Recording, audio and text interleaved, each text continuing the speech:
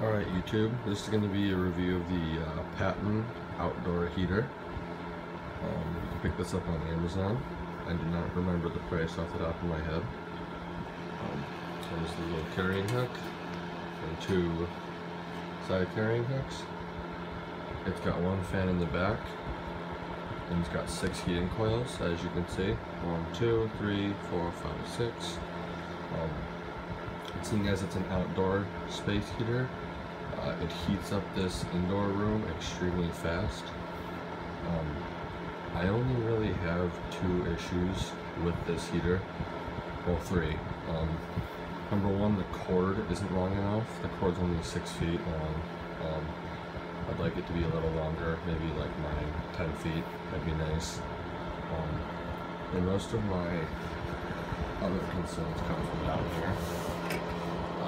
This is your heat level indicator. Right now it's on 2, which is the hottest setting. I can click it to 1.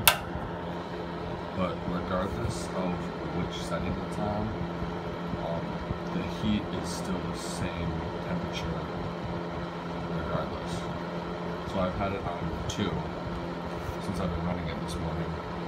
And if I would have had it on 1, it would still have heat, you know, the room would have still heated up at the same rate.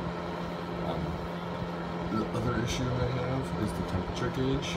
Um, if you listen closely, it'll turn off at roughly 50%. There you go. So the off is down here and high is over here. But off is really in the middle.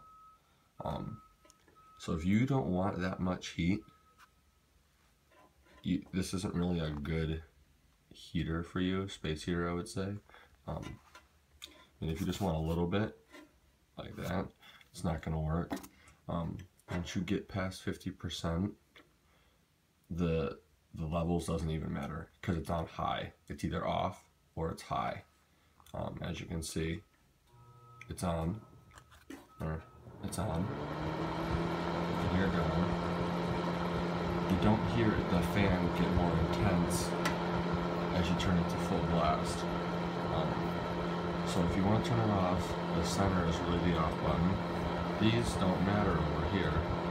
And you have one setting which is high. And then again, this heat switch doesn't really do anything. Um, if you leave it on one, you get the same heating as if you leave it on two. The reason I picked this one up because it is an outdoor heater. It's made